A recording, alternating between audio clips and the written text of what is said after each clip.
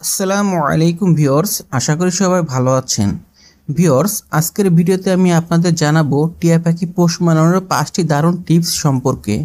তো ভিওর্স ভিডিওর শুরুতে একটা বিষয় আপনাদের জানানো দরকার, সেটা হলো আমাদের দেশীয় যে টিয়া পাখি আছে, সেগুলো শখ করে পোষা বা খাঁচায় পালন করা আইনত দণ্ডনীয় অপরাধ। তাই আমি আপনাদের অনুরোধ করব, বিদেশি যে টিয়া পাখিগুলো আছে সেগুলো পোষ মানানোর জন্য। যেমন Indian ringneck parrot, Alexander parrot ও পালম হেডেড প্যারোট। এই জাতের টিয়া পাখিগুলো খুবই ভালো পোষ মানে এবং কথাও বলতে পারে। বাংলাদেশে বর্তমানে অনেকেই এই জাতের টিয়া পাখি খাঁচায় পালন করছে এবং ডিম বাচ্চাও করাচ্ছে। তো ভিওর্স চলুন কথা না বাড়িয়ে জেনে নেওয়া যাক টিয়া পাখি পোষ মানানোর পাঁচটি কৌশল সম্পর্কে। নাম্বার ওয়ান টিয়া পোষ মানাতে গেলে অবশ্যই আপনাকে এক মাস অথবা তার চেয়েও কম বয়সী বাচ্চা পাখি কিনতে হবে। কারণ একটি বেশি বয়সের পাখি পোষ মানানো কঠিন হয়ে যায়।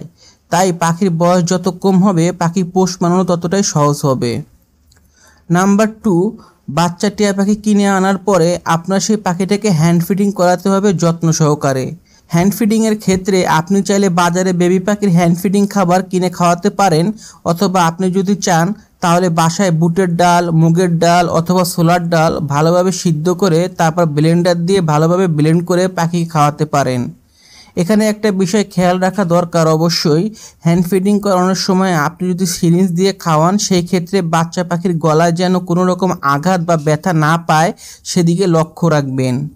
প্রথম দিকে বাচ্চার টিয়া পাখি খাবার ঠিকমতো খেতে চাইবে না, তাই ধৈর্য নিয়ে হ্যান্ড ফিডিং করাবেন।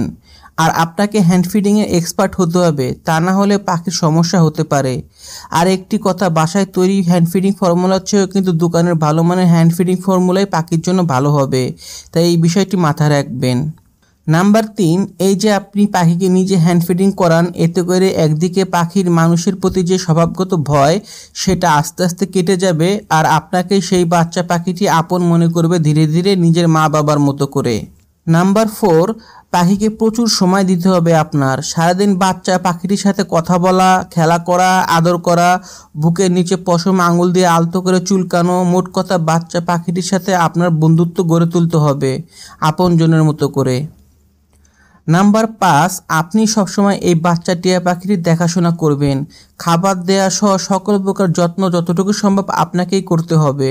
কেননা একের অধিক মানুষ বারবার পাখির কাছে গেলে পাখি ভয় পাবে। তবে যখন ভালোভাবে পোষ মানবে, তখন অন্যজনরা পাখির কাছে গেলেও প্রবলেম হবে না। আর কখনো বাচ্চা টিয়া পাখির সামনে উচ্চ বাক্যে চিল্লাপাল্লা বা শব্দ করা যাবে না। এতে করে পাখি প্রচুর ভয় পায়। ছোট ছোট বাক্যে তার সাথে মিষ্টি ভাষায় আদর করে কথা বলবেন। ছোট্ট দুই অক্ষরের নাম ধরে ডাকবেন তাকে। ইনশাল্লাহ দেখবেন ধীরে ধীরে আপনার পাখি খুব ভালোভাবে পোষ মানবে।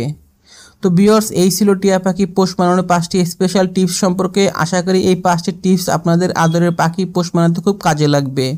তো বিয়র্স ভিডিওটি কেমন হয়েছে তা কমেন্ট করে জানাবেন আর অবশ্যই ভিডিওতে একটা লাইক দিবেন কেননা আপনারা যত বেশি ভিডিওতে লাইক দিবেন, তত বেশি পাখালদের কাছে আমার এই ভিডিওটি পৌঁছাবে এবং তাদেরও উপকার হবে। তো অবশ্যই ভিডিওতে একটা লাইক দিবেন এবং আরও ভালো ভালো ভিডিও পেতে আমাদের সঙ্গেই থাকুন। চ্যানেলটি সাবস্ক্রাইব করে আজকে এই পর্যন্তই। আল্লাহ হাফেজ।